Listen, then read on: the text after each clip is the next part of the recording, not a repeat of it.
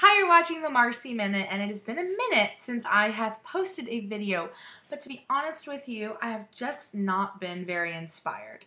I just don't like to post videos just to post them, and I always want to have either a special message to share or something to show. And finally, a box showed up on my doorstep that cannot keep me quiet. So, I wanted to talk to you guys about Domino Dollhouse. Now, for any of you big girls out there that think there's nothing that's fun or inspired or playful for you, stop your whining. I am helping style someone this week who needs something fun and special. I mean, look at this print. Super like 90s with the mesh.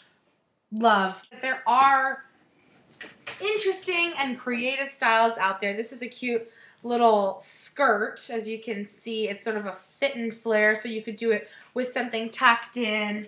And it's shiny, it's almost metallic looking or a faux leather. There's this really fabulous bomber jacket that has your mesh sleeves. So for you ladies that maybe want to show a little skin but want to do it subtly, and maybe also for you ladies who want to cover up your arms. Uh, this is just a beautiful, colorful, and that's what I like. The fact that Tracy Broxterman and her team at Domino Dollhouse are doing things that young girls want and people who want to wear prints and color and, you know what, gosh darn it, be loud can have.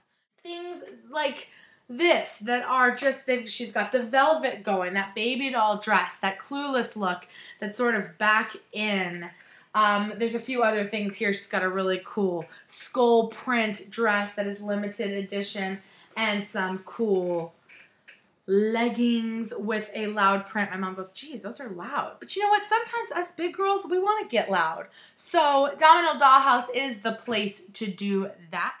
Check out the link below and head there for some fun fashion that's affordable, edgy, and pretty chic. I hope you guys are having a fabulous week. Happy October. If you haven't already checked out my Halloween pics, make sure to find me on Facebook for all of those. And you can see the full article about my Halloween choices for curvy girls on sheknows.com. Have a good one.